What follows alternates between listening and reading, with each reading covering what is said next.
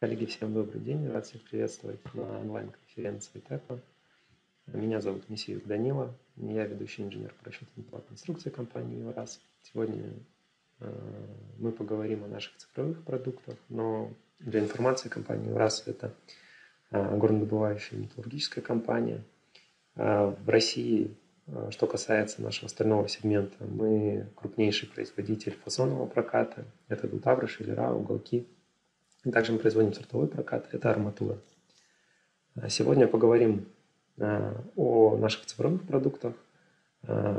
Если коротко, мы разработали плагин для проектирования одноэтажных зданий на стальном каркасе, который я хочу вам сегодня показать. Данную работу мы начали с разработки альбома технических решений, в которые вошли несколько видов, тип, несколько типов поперечников каркаса. Э, например, каркас R1 – это малоклонный ригель из прокатного двутавра. Э, это самое технологичное решение с точки зрения скорости производства, количества элементов внутри каркаса, но при том самое металлоемкое. Второй тип каркасов – это шпренгельные фермы различных уклонов, 3-12%. А, данный каркас обладает хорошими показателями металлоемкости, но восприимчив к неравномерным нагрузкам. А, третий тип каркаса – это крутоуклонный ригель с затяжкой.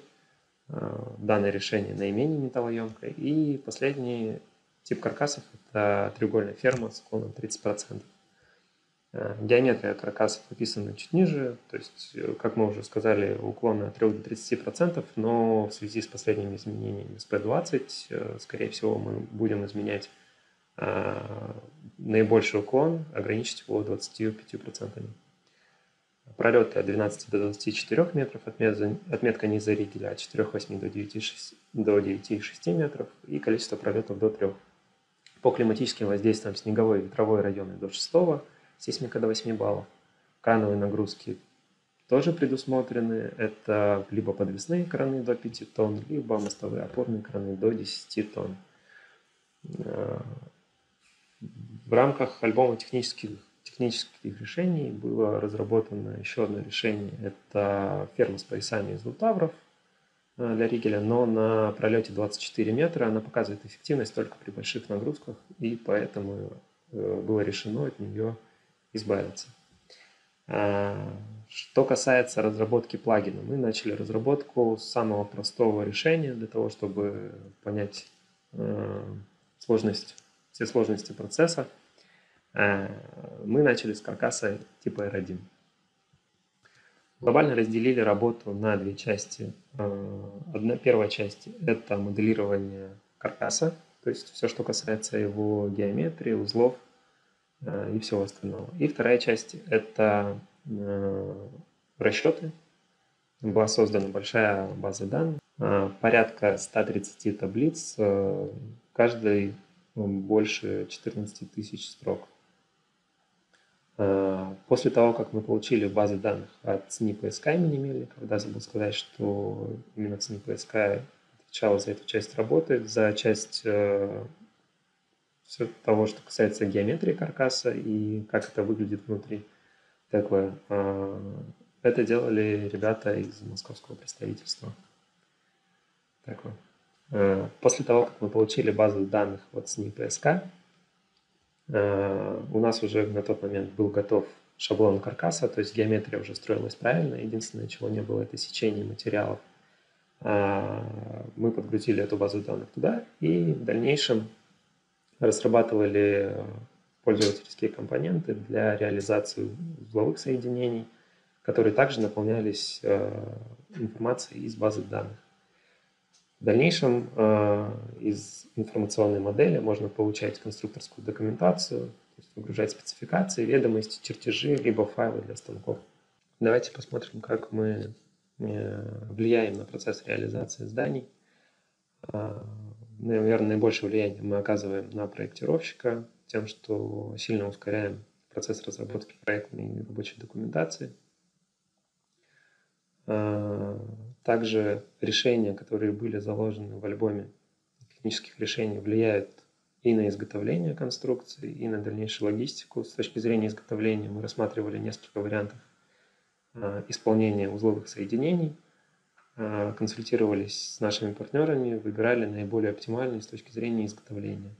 Что касается логистики, все элементы каркаса разбиваются на отдельные стержневые элементы, что обеспечивает высокую плотность упаковки в автотранспорт, не только в автотранспорт, в контейнеры также могут упаковываться данные здания. А, что в свою очередь сокращает количество а, автотранспорта или контейнеров а, и положительно влияет на экономику строительства. С точки зрения монтажа, также на моменте выбора различных типов узловых соединений ориентировались на то, чтобы процесс сборки не вызывал затруднений. А, и на текущий момент э, у нас появляются сервисные металлоцентры внутри компании. А, по сути, это большие склады, которые а, могут производить операции по обработке металлопроката, то есть порезка, сверление, фрезеровка.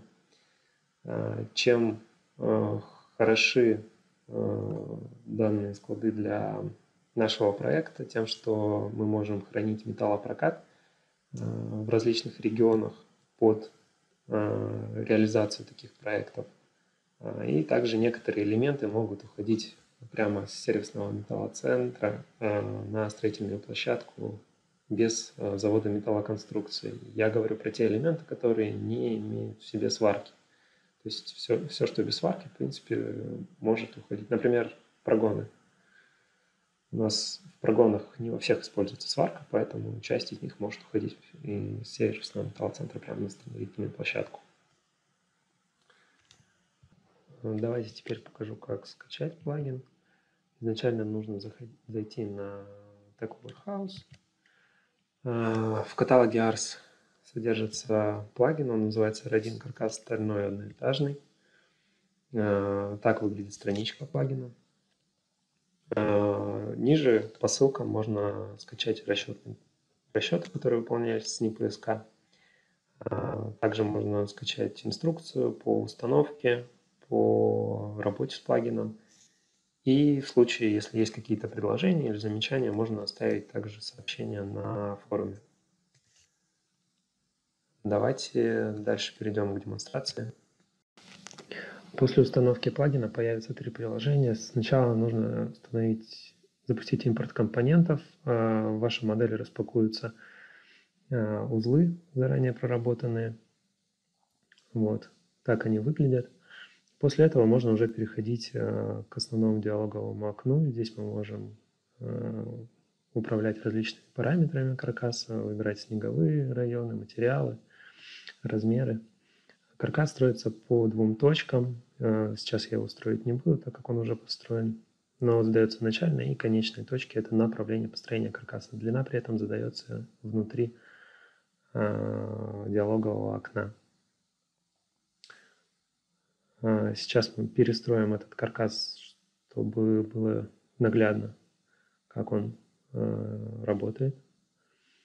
Например, выберем пролет 18 метров и перестроим его. А, вот так будет выглядеть то, что мы задали в диалоговом окне. Как вы можете видеть, все узлы перестроились. Они уже а, генерируются из таблиц заранее просчитанными а, расстояниями между болтов, толщинами пластин и так далее. Так э, выглядят связевые узлы, основной коньковый узел. Например, если нам необходимо поменять э, заполнение межколонного пространства, для этого мы разработали отдельный компонент. Давайте поменяем окно на дверь. Э, смещение проема от центра э, пролета – Соответственно, он здесь сместился на 1 метр от центра. И узлы также сгенерировались. Давайте теперь э, создадим виды, чтобы потом создать чертежи. Э, создадим один э, план и разрез по буквенной оси. Э, изначально, наверное, покажу, э, как вообще получить ведомость металла. Для этого нам необходимо переключиться на вид объемный. Далее создаем чертеж общего вида. А, здесь мы заранее э, разработали шаблоны чертежей, а, выбираем ведомость элементов, загрузить, окей. Вот. И выбираем трехмерный вид, создаем чертеж. А, видим, что чертеж создался. Дальше нам необходимо воспользоваться SM-плагином. А, так как наше приложение работает в связке, то есть мы специально настраивали, чтобы у нас все корректно отображалось.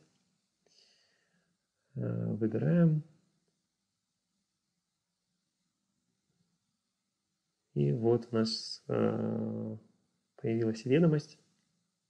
Здесь мы можем посмотреть общую массу каркаса, разбиение по позициям, то есть позиции как в этом плагине разбиты. А, ну вот, масса основных элементов. Также мы разработали общие данные к модели. А, давайте сейчас посмотрим, как их получить. А, для этого также создаем чертежи, только теперь нужно создать пустой чертеж и загрузить э, шаблон общих данных. А, для чего мы это сделали? Для того, чтобы можно было воспроизвести проектировщику в своих расчетах а, основную раму каркаса для проверки назначаемых сечений.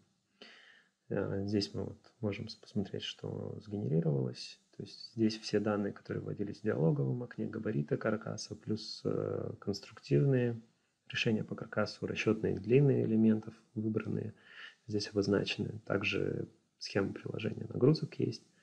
В общем, все для того, чтобы расчетчик мог воспроизвести. А, давайте еще посмотрим, как построить э, план прогонов, например. А, для этого, опять же, создадим чертеж. А, вообще мы делали, сделали несколько разных настроек для прогонов, для разрезов вдоль буквенных и цифровых осей, чтобы ускорить работу проектировщика а, по оформлению чертежей. А, сейчас покажу, как это выглядит. Например, создадим план по прогонам. Э, в целом все, что можно было автоматизировать, мы автоматизировали. Возможно, тут какие-то лишние элементы могут попадать, но их просто нужно скрывать фильтрами и в дальнейшем э, дорабатывать текущий чертеж. Э, на этом демонстрацию можно окончить. Спасибо. Коллеги, спасибо большое. Благодарю за внимание. Если есть какие-то вопросы, прошу обращаться. Либо ко мне на email можно писать. И если непосредственно вопросы касаются плагина и его работы, можно оставлять э, сообщения на форуме. Спасибо большое. Всего доброго.